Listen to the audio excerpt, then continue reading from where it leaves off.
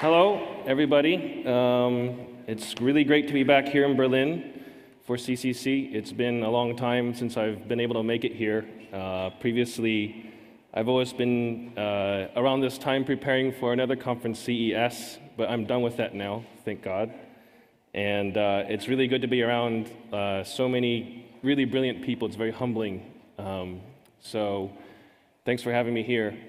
Uh, today I'm going to talk about a implementation of a man-in-the-middle attack on HDCP.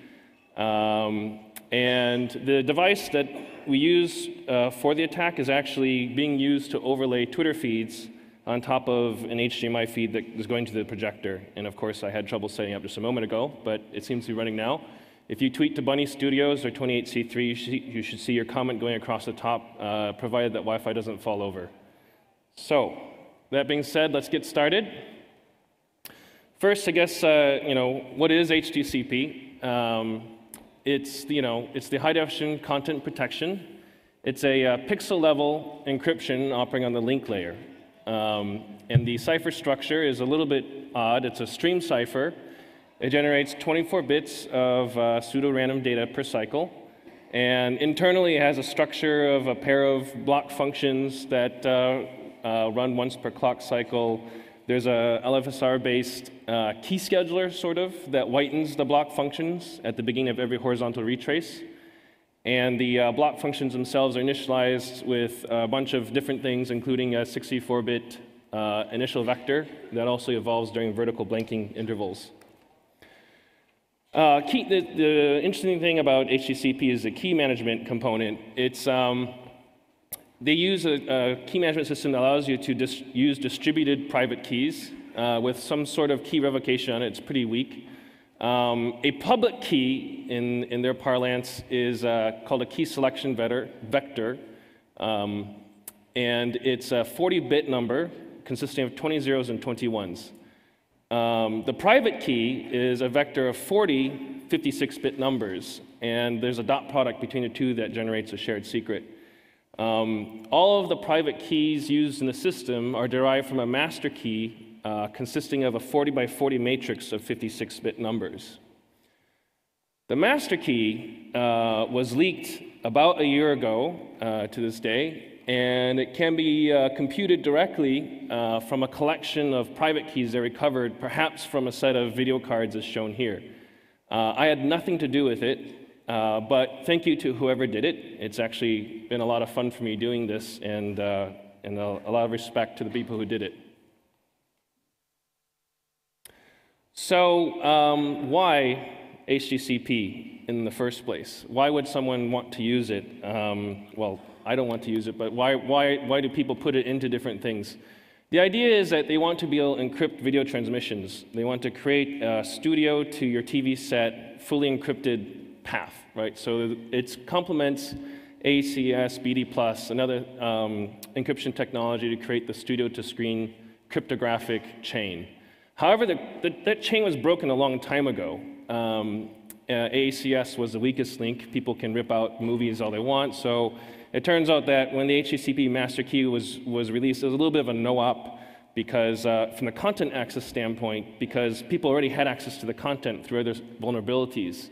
And it's also possible to build strippers based upon legitimate uh, HDCP keys um, that have been available for a long time. Basically, people uh, take out an HDCP receiver chip and then just hook them up to the um, LCD port or some, some frame buffer, and they can um, get the data they need out. So the master key itself, uh, from the content manager standpoint, wasn't big news. But so then the question is, why would I bother to try to implement this man-in-the-middle attack on HDCP.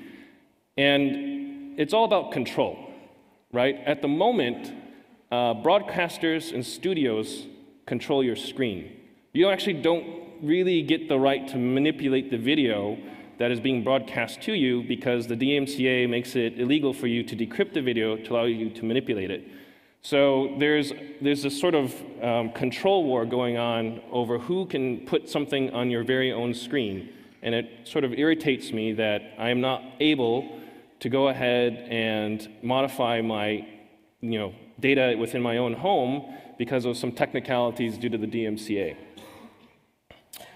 So um, just an overview of the things that are restricted. If you want to do uh, like a picture-in-picture from two feeds, that's not possible because of HDCP. If you want to do content overlays, like what's happening up here, that would not be possible. If you want to do filtering and modification of the image, that's not possible because it's all encrypted.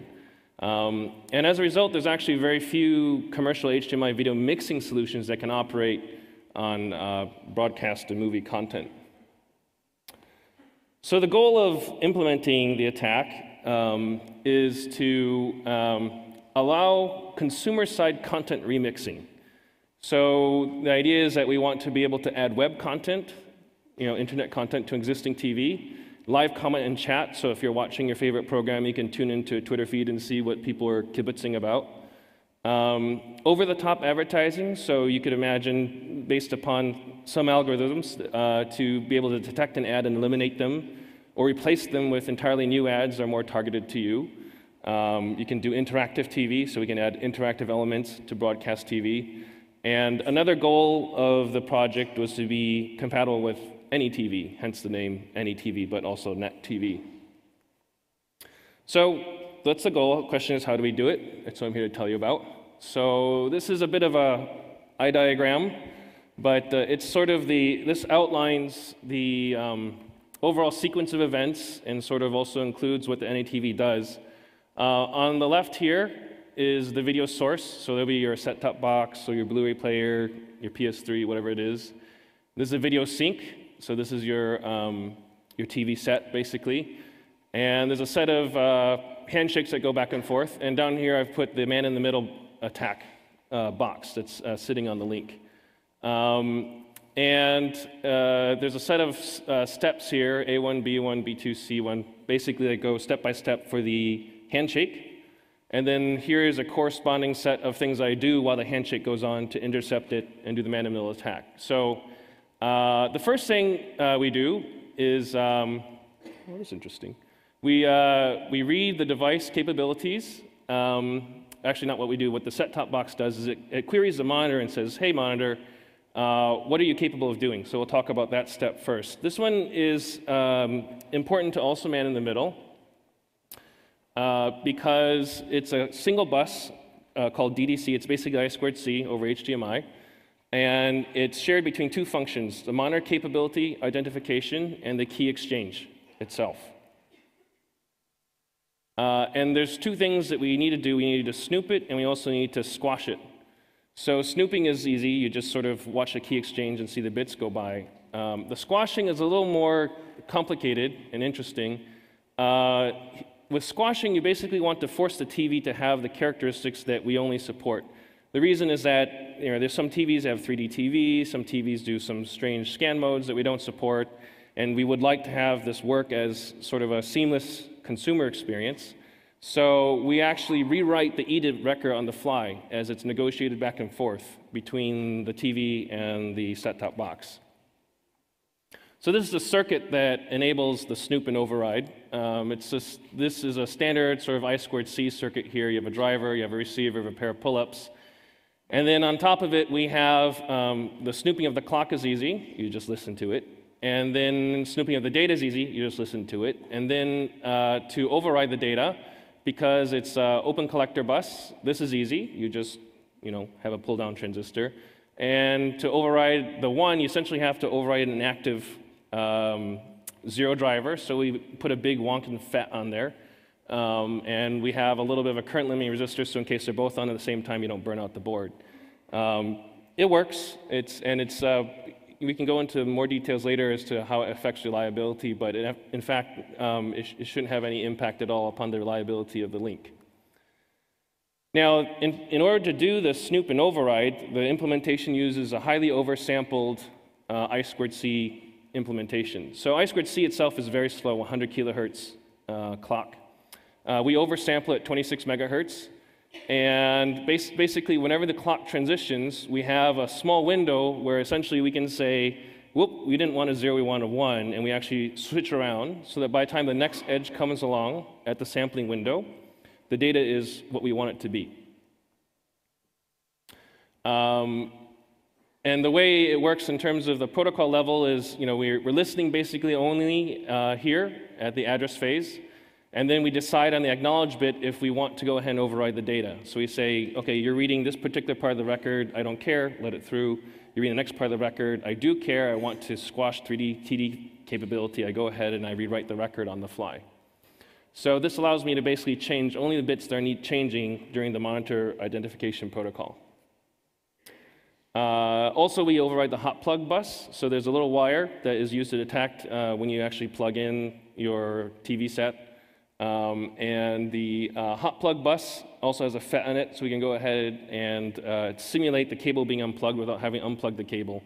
Um, this is important because uh, basically the hot plug kicks off the whole state machine again for resynchronization and reloading all the records. And so we do this a couple of times, particularly on boot, to go ahead and manipulate all the EDIDs and um, all of the um, key state.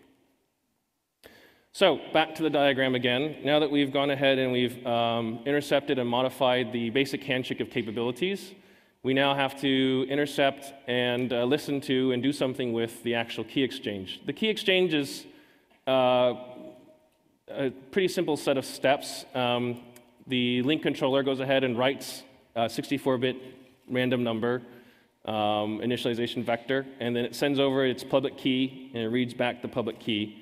Once the public keys are, are exchanged, you initialize a cipher state, and, uh, and, then, you, and then you go.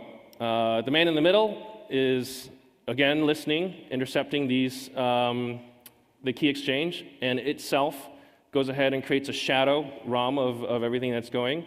And then we initialize a cipher to have exactly the same synchronization state as this, so that we can, on a pixel by pixel basis, encrypt data to the identical cipher state and swap them on the fly. Um, let's see, is there anything I didn't say here? Right, so getting the, uh, the, all the initialization vectors is accomplished with I squared C sniffing. Um, and once basically the key exchange is captured, uh, um, the last write is a defined address that actually triggers an interrupt that goes to the host CPU. This is all done in FPGA, by the way. It goes to the host Linux CPU that then triggers a udev event that does all of the math for computing the shared keys.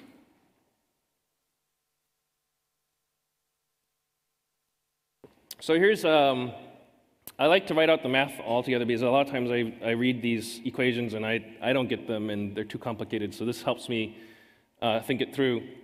When you're computing the private keys, you basically take K, which is the master key. This is, a, this is the matrix of 40 by 40, 56-bit numbers. And you do a dot product with the public key, and you can get essentially a vector of 40, 56-bit numbers, which is the private key vector for the source. And then you basically take the transposition of the master key, multiply it by the other public key, and you get the other private key vector.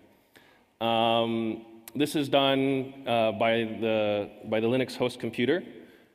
And basically, once you have these um, private key vectors, we then multiply back again by the key selection vectors to derive the shared secrets.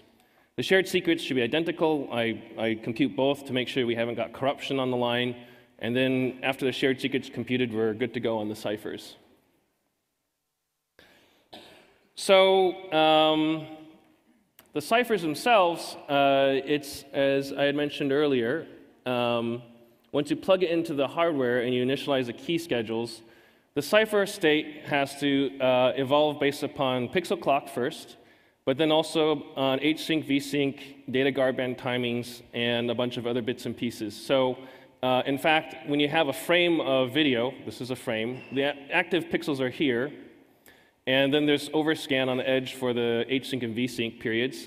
Uh, they actually only turn on the encryption for uh, actual data, right? So, so if you actually don't synchronize the cipher state and turn it off when you're not transmitting video data, your cipher gets unsynchronized and you get white noise um, at the back end. So we have to basically build a system that also um, passively observes the guard bands, uh, the sync patterns, and so forth. Those are all unencrypted um, and uh, align our cipher state in addition, um, the way that they do audio transmission and other things inside of uh, HDMI is they have these data islands that are hiding inside the sync areas, and they're marked by a special coding region. Um, and, uh, and once those happen, you know the next 16 or 32 clock cycles is, is a data island. And so we have to essentially extract all that timing and, um, uh, and use that to synchronize the cipher state. So again, this is sort of a recap of how the pixel by pixel like uh, uh, swapping happens. Here is sort of our encrypted video. I sort of hash over it to indicate it's been XORed. It's like the number one. Goes over a cable. We synchronize pixel by pixel, and then any TV will just go ahead and render only the portion of video that we really want to swap out. It encrypts it with a synchronized cipher, and then it just takes those and swaps those with the pixels that I've encrypted. And then on the TV side, when you decrypt it, instead of getting the number one, you get the letter I. Basically, that's how the, the overall system works. Um, so that's all the sort of the math and the crypto stuff. The actual implementation is much more hairy. Uh, there's a lot of like real world stuff you have to deal with, so I'm going to go into a bit of that. Um, the, uh, overlay pixels need to be exactly timed um, to the video pixels. And the overlay itself, so for example, this stuff that's coming across the top here, is all being computed by the, the local Linux computer that's on any TV. And those look like DevFB0. We're just writing DevFB0 with, with WebKit to, to create this, um, this uh, overlay. Uh, there's a bunch of challenges to doing this. The Linux interrupt jitter for frame sync is way too high. You can't just use that to synchronize frames. The local oscillators also drift over time. So um, up to hundreds of pixels per frame is allowable within the PPM spec of the local crystal oscillators. And if, you don't, if we don't have absolutely tight synchronization, you would see the overlay sort of jittering and looking very nervous on the screen. So there's a few uh, techniques we use to synchronize the frame buffers. First, um, we don't use the local pix clock to, uh, to clock the LCD controller on the SoC. We actually take the pix clock from the incoming video and feed that back into the processor and say, here's your clock for that. So that gets rid of entirely all of the clock drift issues and uh, PLL drift issues that you can have. It's, a, it, it's, a, it's something that's a, a, a, very convenient thing that helps solve a lot of the problems. Uh, the next thing we do is we uh, listen to the data going by, and we have to derive all the timings dynamically from the video, and we set the frame buffer properties to match. So on the fly, we listen, we say the sync is this long, the video is this wide, and this high, it corresponds to this CA mode, and then we program our frame buffer to match that. So, of course, we don't do that programming right. If you even off by one pixel, the frame starts drifting with time. Uh, and this, you would think, would be something that's actually quite easy to do, but in fact, a lot of uh, vendors have buggy implementations. They're not actually CA compliant. So you really have to just measure and use heuristics to, to try and make it bug compliant with all the weird equipment out there um, that doesn't actually quite work the way the standard says.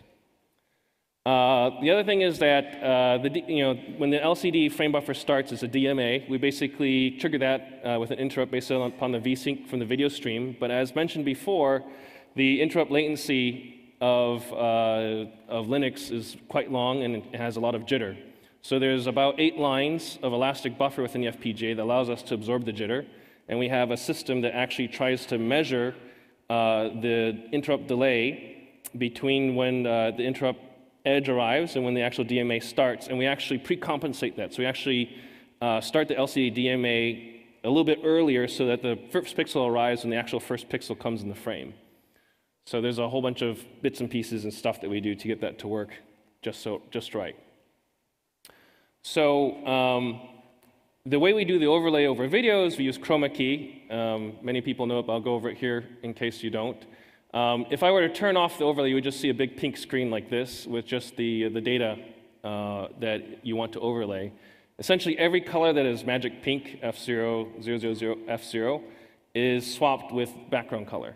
Um, it's a little bit tricky in some spots to do this um, because you have anti-aliasing sometimes turned on and the pink will bleed into your images and so forth. So you have to be a little careful when you design the content so that the magic pink doesn't bleed and create pink rings around everything. Uh, and so this is what the FPGA implementation looks like on the inside. There's a, a block diagram of it. Um, the HDMI comes in, we deserialize it to RGB. We have the um, I2C like DDC bus, which is being snooped and squashed. Uh, and then we have a local PLL sync that reserializes data. There's a multiplexer here that, based upon the genlocked uh, data coming from the FIFO, uh, is encrypted and then selected on a pixel by pixel basis if the incoming data matches the chroma key. That's basically the entire implementation of the pipeline uh, for the device. Now, there's a few optimizations we had to do um, to get this to work well. Um, one thing is key caching. So every video source sync, when you plug your you know, Blu-ray player into your TV, the, the shared secret actually never changes uh, over the life of the, of the device. And people rarely replug things in with each other. Um, so even though we can almost compute the shared secret on the fly for most devices, some devices are very fast and they run a little faster than the protocol and they won't catch and you get like white noise. So what we do is we cache the, the computed uh, key uh, the first time we compute it, write it to a temporary location, and then we just check it's the same. If it's not the same, then we yank H the hot plug line and we, and we re reinitialize. The other thing we do is we do EDID caching.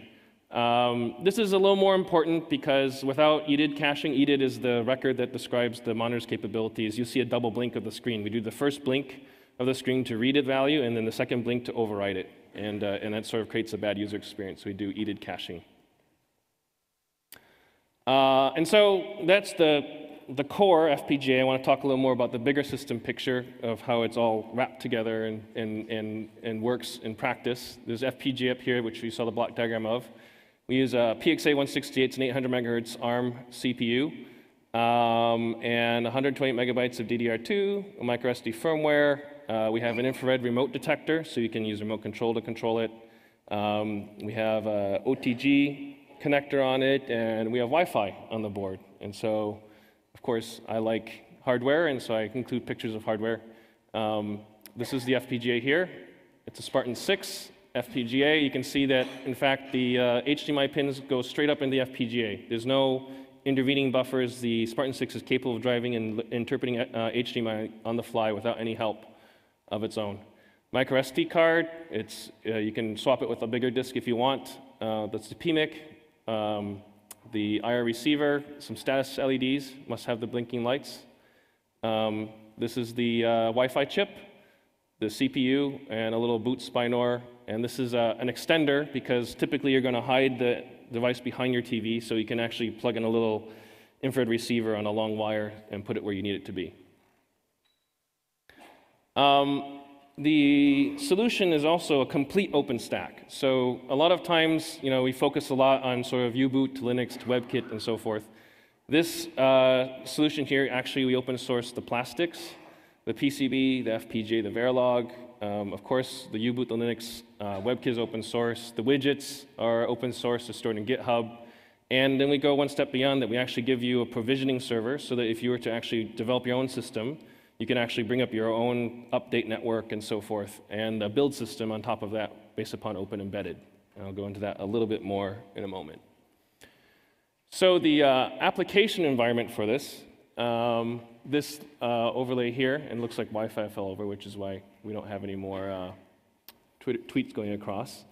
Um, the application environment, this guy here is basically HTML JavaScript.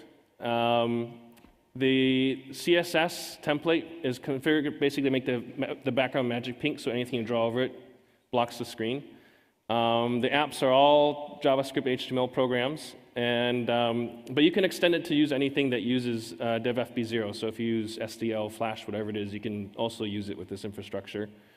Um, we use GitHub to store all of our demo apps. So every time you reboot the client, we do a git pull, and if there's new widgets or something, it just pulls right down to your device, and you have new widgets on the device. Uh, and the firmware updates are also served from an EC2 infrastructure. So we provide a, an AMI that allows you to replicate this yourself. Another thing we do is we provide an HTTP API. So the, so the events that you saw previously scrolling across the top here um, are actually, um, you can actually issue them from any device in the network. We actually broadcast ourselves with a zeroconf um, bonjour. You can discover it with a smartphone, for example, and uh, based upon the discover IP address, if you get an SMS on your smartphone, it can go ahead and forward the event to any TV, so an SMS could then scroll across the screen. Um, the, it's it's uh, basically, this is what an example call looks like. It's just a, a GET request, and you just um, and you can send events to any TV. So the idea here is that if you had a smart home environment or you want to do something where you're overlaying something in your screen, and you don't want to do a lot of work or programming, you just go ahead and you just discover the IP address and you use HTTP to go ahead and overlay the events very quickly and very easily. This allows you to avoid having to do a lot of coding um, to get some sort of new system and new functionality. Also, we provide a turnkey build system. Um, we have a public Amazon EC2 instance with a pre-built Angstrom distribution. So it's great that you can get source, but the problem is if you want to build the kernel, you know, Qt, X, and everything, you're downloading source for seven hours, and then you're building for another seven hours, and then you find out it doesn't work, you misconfigured something, and then you're waiting another seven hours to just get going. It's a big pain in the butt. So what you can do is you can uh, essentially just go to Amazon and then use our public AMI, and it comes up, and essentially it's like we handed you the keyboard from our dev environment, and you can just go from there with a pre-built image. Uh, it comes with a local Git repo and, uh, and BuildBot. So basically, you can go ahead and uh, go to our AMI, uh, go to Amazon, launch it. Um, uh, you can go ahead and commit your code to the local Git repo on the inside. And when you do a code commit, it goes ahead and automatically triggers a build for you, so you can watch your builds going and so forth. And then at the end of the day, there's a set of images that are generated for you that are served via web page from the server. Um, and so there's a big um, binary file here that basically you need to download that once, burn it on your device. Uh, but once you've uh, downloaded that and burned it on there, the device is keyed to go back to your server for updates. So then code development becomes not, you know, code something, SCP it on, and run it. You just simply just do a push, git push. It does the build, and then through O package, it triggers an update, and your stuff just ends up on your device. Uh, and this is something that you can just get without having to do a lot of work. So we, we call it like 30 minute sort of running start. We want to get developers going on the platform without having to do a lot of mucking around with cross compilers and so forth. Um, the hardware is open. I'm a hardware guy. I like hardware, so of course I'm going to include the porn for hardware. Um, this is the case design. It's done in SolidWorks. Um, you can download and look at it. I put graffiti on the inside and bits and pieces. Um, uh, it's uh, made in steel tooling out in China. Um, I love the, the way it looks and the way it smells. Um, it's true. Um, the, uh, if, if anyone's ever seen me get like a new like gadget out, I always like open the anti-stat bag and I smell it because you can, I've been in enough factories, you can tell what flux they're using, what process they're using, and sort of how the weather was in Shenzhen when they built it. Um, that all comes with the box.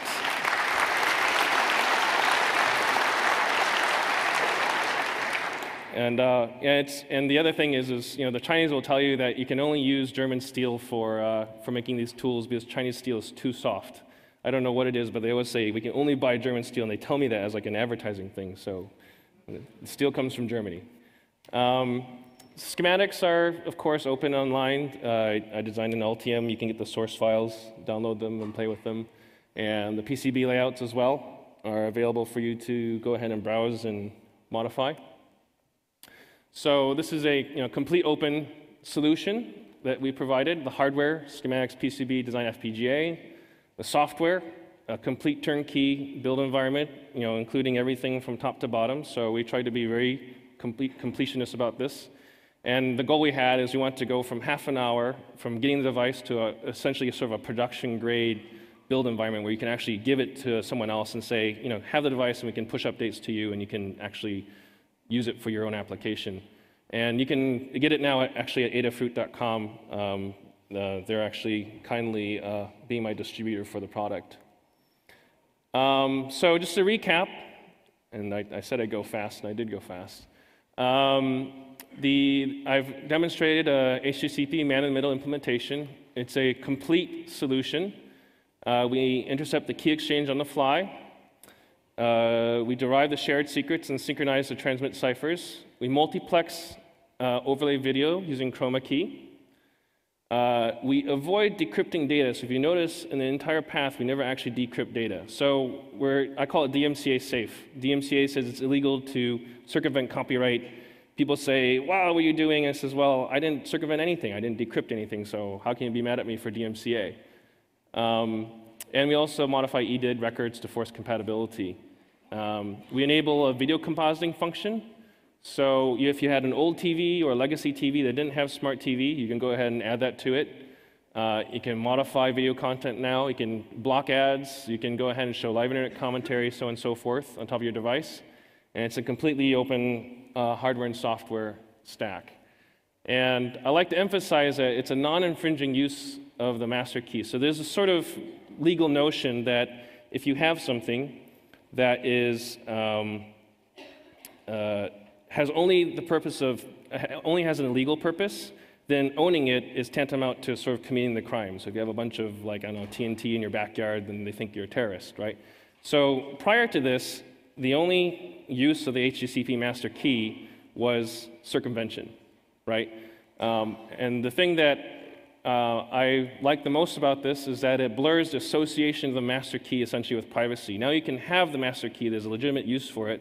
It's non infringing, it's commercially useful, it's been well implemented, it's not a sham. There's a sort of argument that says, well, you have this like kind of like backup use or whatever it is, and then everyone says backup, backup, and it, everyone knows it's sort of tantamount to some, something else.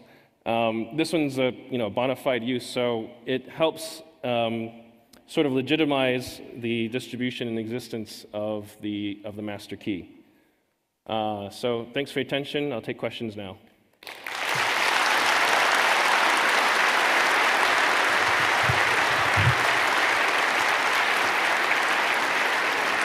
I guess um, down the front there? Or, Okay, normally you would queue up, but I'll make an exception for you. Hey, Bunnie. hey, Um, so, given uh, that you're not doing, um, you're doing pixel by pixel substitution, is there a limit um, with your FPGA and your processor on how many pixels you can substitute given the overall screen resolution? Um, right. So it's, it's all, it all happens on the fly, and so the limit is limited by the pixel clock rate of the FPGA. Uh, a standard Spartan 6 without the really expensive transceivers limit to 95 megahertz pix clock, which is a gigahertz line rate, basically. Um, and that corresponds to a 1080i resolution or a 1080p 24. It doesn't do 1080p 60, which is a common uh, resolution, but um, eh, you can actually overclock the FPGA, and it actually works most of the time to, to get to that. But uh, as a commercial product, we block the overclocking, but it's very easily disabled. Um, you could do it yourself if you wanted to. If you have questions, please try to queue up at the microphones, but we have one from the internet, I think. Okay, we have two questions. Um, what can this do other than overlays? What can this do other than overlays? Well, so um, this the the UI you see here is a um, it's it's a WebKit browser, right? So um, it's a little bit tough to in this environment for me to to do the demo, but basically there are Android apps and iPhone apps that work with this, and I can take pictures and share them on the screen. So just sling the picture to the screen, and you can also enter a URL and view a web page on the screen as well um, and or anything else that you can do, you know, imagine coding with JavaScript HTML, right? Uh, these are, this is just sort of like an, an, example demo that we did, sort of to give you an idea of flavor, but it's not actually the final thing. That's, it's really up to you guys to tell me what you want to do with it. Okay. Um, right. Uh, yeah, and another question. Um, sorry. Why don't you hook up your own uh, ED ID, You did, yes? okay, or read the original and provide the modified copy from the controller. Mm, can you say can you say that one more time? I didn't quite understand it. Uh, the whole question or the last The- part? the- just a whole question. Why don't I hook up? Your own ID? Oh, EDID. Okay. Why don't I just go ahead and blast like a generic EDID in? Be- because not uh, you, not every TV is a 720p or 1080p TV. There's some really crappy TVs out there. You can damage them. Like if, if someone actually in the world had a CRT, right, and they weren't very careful about it, and we actually overdrove the sync. you could burn out the tube or something. So we have to read the monitor's capabilities and respect that, and then deselect the modes that we don't allow. That's why we do the overriding. Okay, and the last one. How complicated would be uh, to use your own hardware to decrypt the uh, HDCP? Right. How hard is it to decrypt HDCP? I knew that Yeah. question was going to come. um, so uh, there's a, for I guess for you know strictly legal reasons, there's a substantial barrier that I've put in to uh, decrypting, but it's not, a, it's not like an impossible barrier, it's more like an effort barrier, right? So, for example, this device here, the actual uh, device itself has the master key, but it has no actual um, public key of its own. It must borrow the public key from a source and a sink for it to work. It actually checks to make sure you have a properly licensed device on both ends of the link. And that's uh, for another legal reason. You want to make sure that you're following all the licensing rules and so forth to do this. Um, in order to have it actually just decrypt on its own, it needs to provide its own public key. Someone has to put that in there, right? Um, that's possible to the extent to this crowd. I mean, there's many smart people who could do it, but regular consumer could not, you know, easily go and hack the Verilog to do that. So it's theoretically possible, but there is, a, it's the same point for legal reasons. I made sure there was at least a barrier. So it's not like one of those like clip here and you have like a radio that can listen to like um, radio bands or something like that, which would create sort of a blurring of the line of the legitimacy of the product. Okay, question over there. Hi there. Um, how many people have been uh, working on this pretty impressive piece of hardware, and how long did it take to actually develop and build, build it? Um, okay, so the question was how many people are working on it and how long did it take? Um, this, this hardware was designed in Singapore. Uh, I moved there about a year and a half ago. Um, we conceived it about last year, this time, had just some sketches, showed to people, see what they thought. We did a, um, a stretch card, so basically just the FPGA itself, and we plugged it actually into the LCD port of an existing Chumby device that we had at the time, and just demonstrated the overlay in May. Um, and then we finalized the boards and did the tooling and so forth. We had production by October. Um, and basically, we've been now going through sort of the process of getting out to distribution. Um, we had a team of, I think at the, at the, biggest point, it was about five or six people working on it. Very, very talented people. Um, I'm, I'm really lucky to be working with them.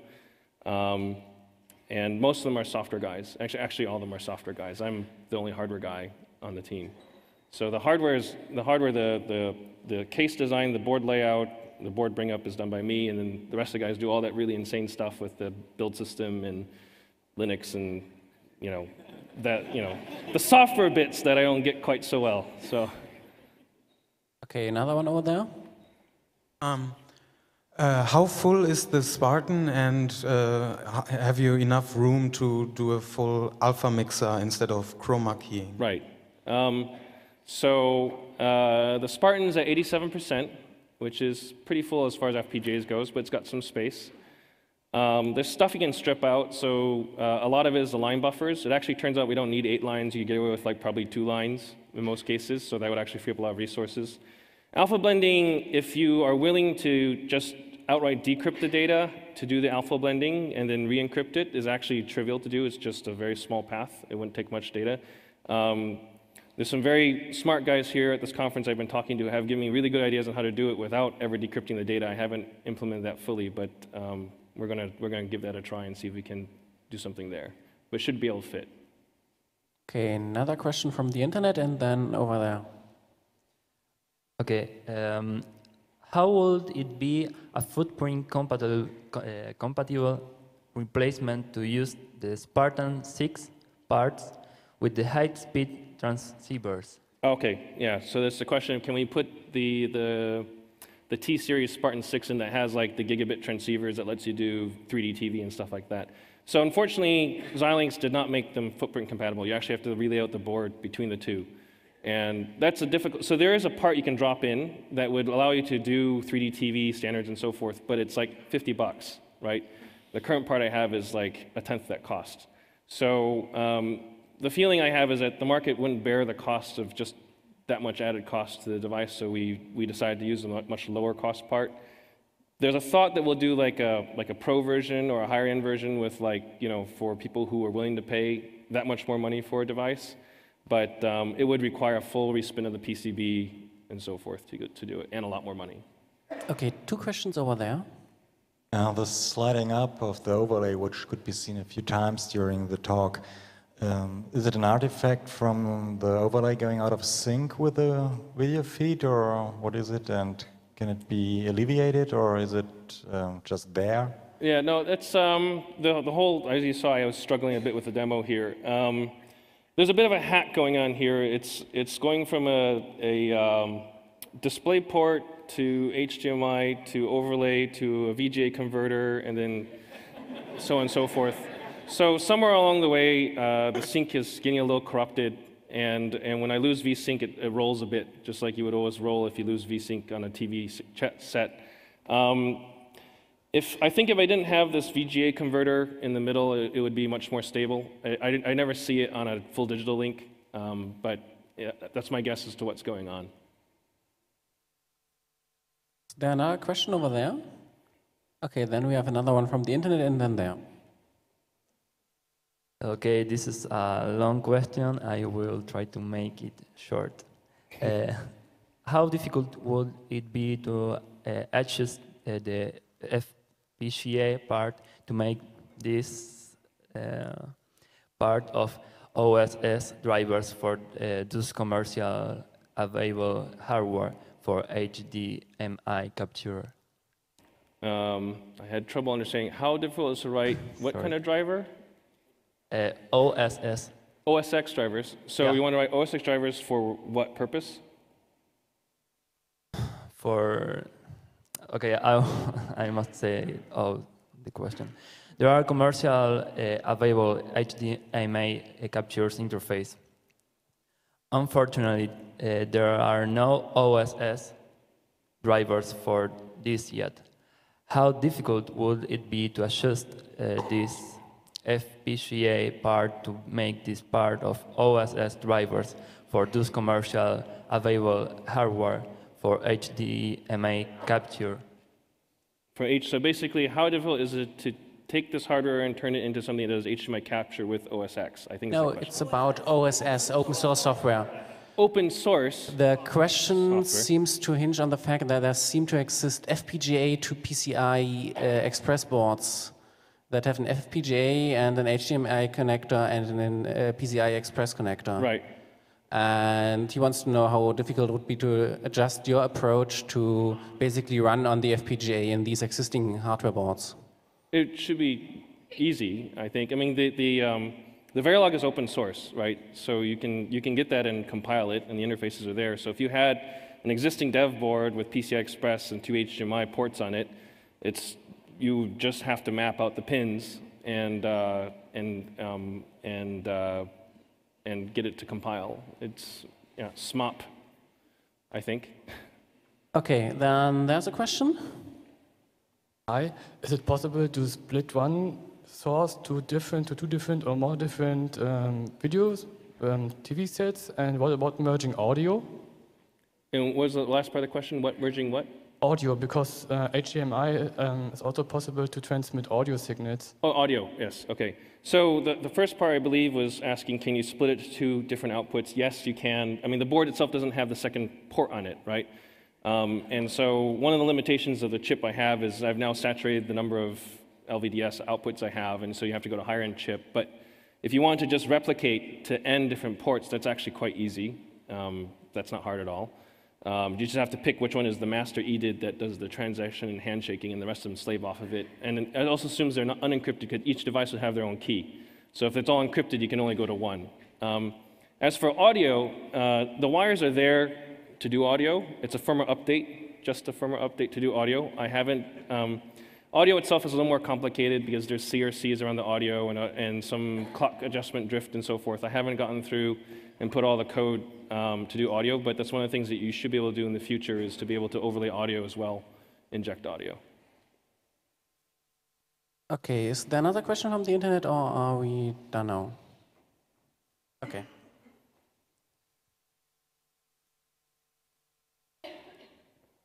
Um, why don't you use the uh, R, uh, uh, sorry, uh, ARM Why do I use an ARM? um, FIQ to avoid the Linux kernel IRQ latency? Oh, okay. When I use an FIQ, um, I don't know. It was hard.